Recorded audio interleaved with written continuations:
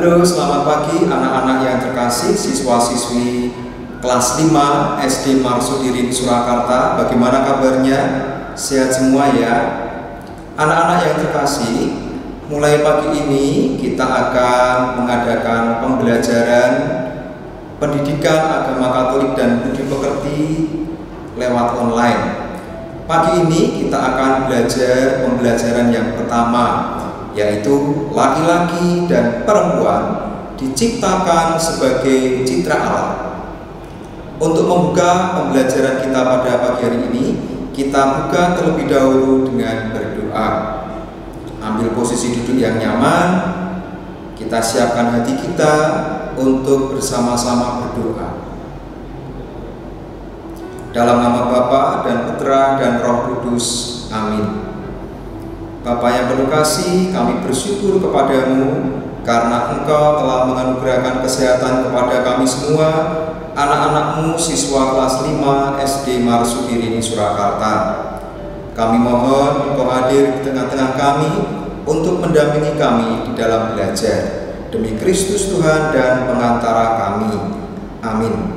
Dalam nama Bapa dan Putra dan Roh Kudus. Amin. Anak-anak yang terkasih, sebagai pengantar, bersama-sama nanti kita akan menonton sebuah film singkat yang mengisahkan bagaimana Allah menciptakan manusia. Allah menciptakan laki-laki dan perempuan itu sesuai dengan citranya, sesuai dengan citra Allah sendiri. Tidak usah berpanjang-panjang, Ambil sikap duduk yang nyaman anak-anak. Karena sebentar lagi kita akan menonton sebuah film singkat sebagai pengantar dalam pembelajaran kita pada pagi hari ini. Pasti kalian sudah penasaran kan? Langsung saja kita saksikan film singkat. Selamat menyaksikan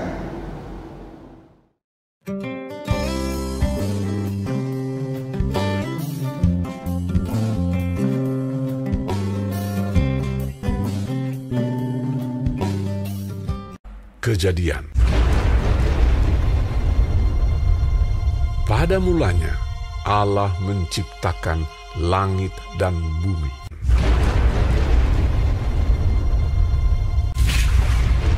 Bumi belum berbentuk dan kosong. Gelap gulita menutupi samudra raya. Dan berfirmanlah Allah. Jadilah terang. Lalu terang itu jadi lalu dipisahkannyalah terang itu dari gelap. Dan Allah menamai terang itu siang, dan gelap itu malam. Itulah hari pertama. Berfirmanlah Allah. Jadilah cakrawala di tengah segala air untuk memisahkan air dari air. Lalu Allah menamai cakrawala itu langit. Itulah hari kedua. Berfirmanlah Allah. Hendaklah segala air yang di bawah langit berkumpul pada satu tempat, sehingga kelihatan yang kering. Dan jadilah demikian.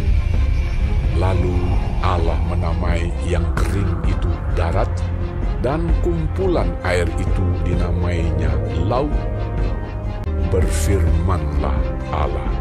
Hendaklah tanah menumbuhkan tunas-tunas muda, tumbuh-tumbuhan yang berbiji, segala jenis pohon buah-buahan yang menghasilkan buah yang berbiji, supaya ada tumbuh-tumbuhan di bumi.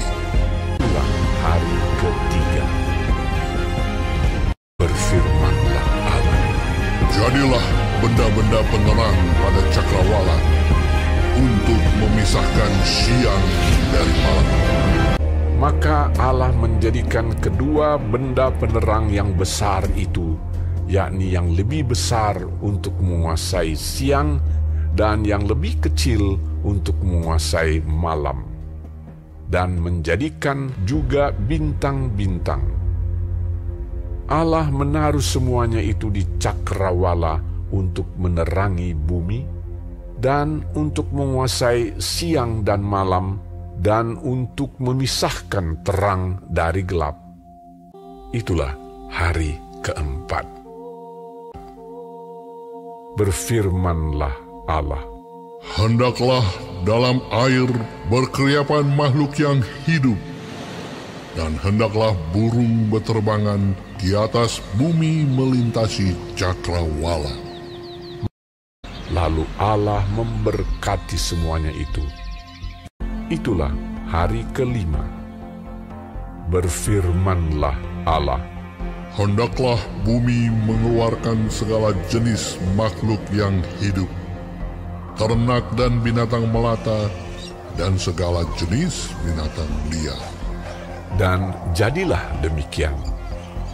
Firmanlah Allah. Baiklah kita menjadikan manusia menurut gambar dan rupa kita. Ketika itulah Tuhan Allah membentuk manusia itu dari debu tanah dan menghembuskan nafas hidup ke dalam hidungnya. Demikianlah manusia itu menjadi makhluk yang hidup. Selanjutnya, Tuhan Allah membuat taman di Eden. Di sebelah timur, di situlah ditempatkannya manusia yang dibentuknya itu. Maka Allah menciptakan manusia itu menurut gambarnya, menurut gambar Allah diciptakannya dia. Laki-laki dan perempuan diciptakannya mereka. Allah memberkati mereka. Lalu Allah berfirman kepada mereka, Beranak cuculah dan bertambah banyak. Penuhilah bumi dan taklukkanlah itu. Berkuasalah atas ikan-ikan di laut dan burung-burung di udara, dan atas segala binatang yang merayap di bumi. Maka Allah melihat segala yang dijadikannya itu sungguh amat baik. Itulah hari keenam. Berhentilah ia pada hari ketujuh dari segala pekerjaan yang telah dibuatnya itu. Demikianlah diselesaikan langit dan bumi dan segalanya. Nah, filmnya bagus ya anak-anak. Dengan film singkat tersebut kita menjadi lebih mengerti, menjadi lebih paham bagaimana Allah menciptakan manusia laki-laki dan manusia perempuan itu secitra dengan Allah sendiri. Secitra itu artinya segambar dan serupa dengan Allah. Allah sungguh mengasihi kita manusia sehingga menciptakan manusia itu lebih tinggi daripada ciptaannya yang lain. Anak-anak yang terkasih, secara umum masyarakat kita itu berpandangan bahwa laki-laki dan perempuan itu memiliki perbedaan secara fisik maupun secara psikis. Dan tidak bisa kita pungkiri bahwa laki-laki dan perempuan itu pasti berbeda baik secara fisik atau secara tubuhnya. Antara laki-laki dan perempuan itu berbeda. Kalian sendiri sudah bisa membedakan mana manusia laki-laki dan mana manusia perempuan. Contoh sederhana, perempuan kebanyakan mempunyai rambut yang panjang, sementara laki-laki tidak. Kulit perempuan itu cenderung halus dan mulus, tidak berbulu. Sementara manusia laki-laki mempunyai kulit yang cenderung kasar dan berbulu. Dari suaranya juga berbeda anak-anak. Manusia laki-laki itu mempunyai suara yang besar. Sementara manusia perempuan mempunyai suara yang lebih merdu, lebih kecil dibandingkan manusia laki-laki. Badannya pun juga berbeda anak-anak. Manusia laki-laki itu berbadan tegak.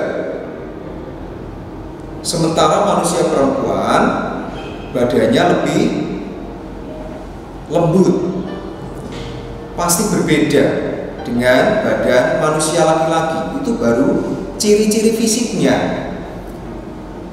Ciri-ciri psikis atau kejiwaan atau karakter itu pun juga berbeda. Laki-laki itu cenderung bersifat keras, kasar.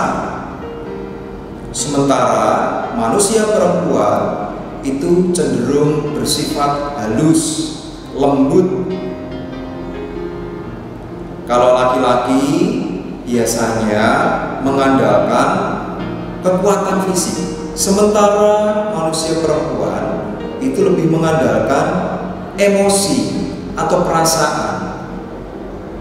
Anak-anak yang terkasih, walaupun manusia laki-laki dan manusia perempuan itu diciptakan berbeda, tetapi pada hakikatnya Allah menciptakan perbedaan di antara mereka tujuannya adalah supaya mereka bisa saling melengkapi dan mengisi satu sama lain.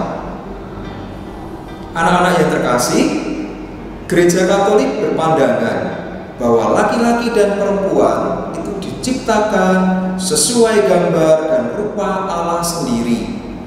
Maka dari itu, kita manusia itu disebut sebagai citra Allah. Kita manusia adalah makhluk ciptaan Tuhan yang paling mulia di antara makhluk ciptaan Allah yang lain. Selain itu, keluhuran martabat manusia sebagai citra Allah hendaknya menunjukkan bahwa laki-laki dan perempuan mempunyai perbedaan kodrati yang tidak bisa diganggu gugat. Artinya adalah ketika kita lahir sebagai manusia laki-laki, maka secara kodrati kita adalah manusia laki-laki, tidak bisa berubah-ubah. Demikian halnya dengan kalian anak perempuan. Kalau kalian sudah dilahirkan, diciptakan oleh Allah sebagai anak perempuan, maka kalian tidak bisa mengubah-ubah itu sembarangan. Artinya kalian secara kodrati adalah manusia perempuan. Anak-anak yang terkasih, dalam kisah penciptaan dikatakan bahwa manusia diciptakan sebagai citra Allah. Artinya serupa dan segambar dengan Allah. Kata serupa dan segambar itu sebetulnya sekaligus secara tepat juga melukiskan perbedaan bahwa manusia dan Allah itu berbeda.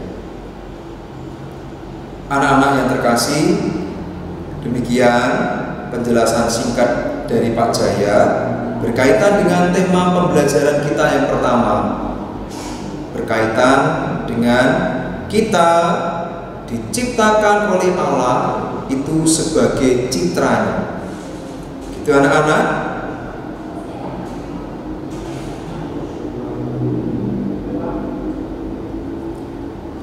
Maka hendaknya kita selalu bersyukur dan bangga diciptakan sebagai anak laki-laki maupun sebagai anak perempuan. Karena laki-laki dan perempuan itu pada hakikatnya mempunyai harkat, derajat, dan harga diri yang sama di hadapan Allah, yaitu sebagai citra Allah. Begitu anak-anak?